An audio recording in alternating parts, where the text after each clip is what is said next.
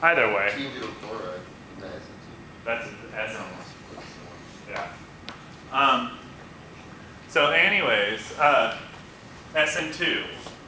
Why is this an SN2 reaction? Oh, give me, give me some reasons as to why this, already we know this is an SN2 reaction.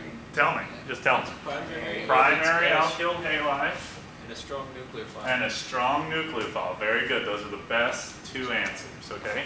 So primary alkyl halide.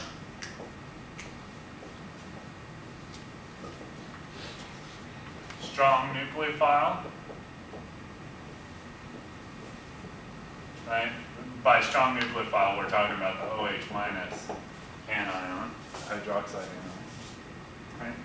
So this is going to be straight up SN2. Definitely. Okay?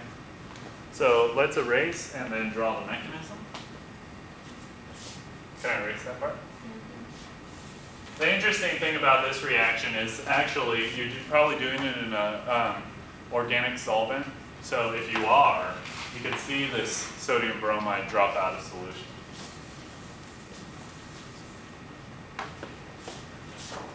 Okay, so um, the hydroxide ion is the important part. The sodium ion is just the spectator, right? So what's going to happen is, of course, nucleophilic attack, one-step reaction. Remember, um, the SN2s are one-step reaction.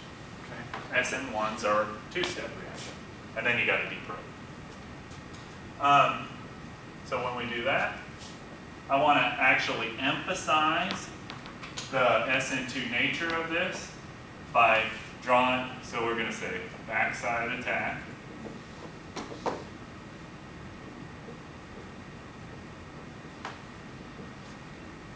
So let's draw the actual nature of what's actually going on here. So if we want to think about it like that, right, it's actually coming from the opposite side.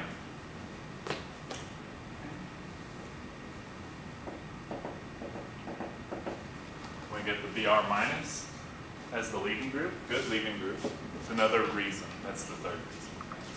Br minus, good leaving group. And of course, Na plus is going to want to associate with that because it's in an organic solvent. Um, so if it asked you what's your organic product, what type of reaction? SN2. Yep. Everybody cool with that? Everyone's favorite. Okay. Any questions?